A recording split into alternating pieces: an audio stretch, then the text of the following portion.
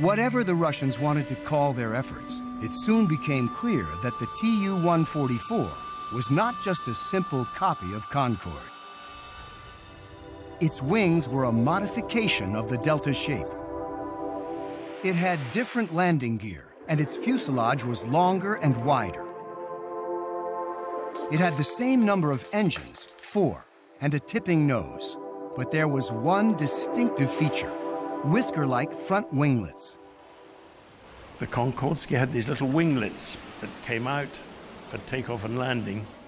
Those winglets modified the airflow over the wing in such a way that you could come in at a lower angle of attack, which meant less engine power required and therefore less noise. So it was a very, very good feature, that of the Konkordsky design. And I think, as I say, if there'd ever been a second generation Concorde built, uh, they would have incorporated winglets into it.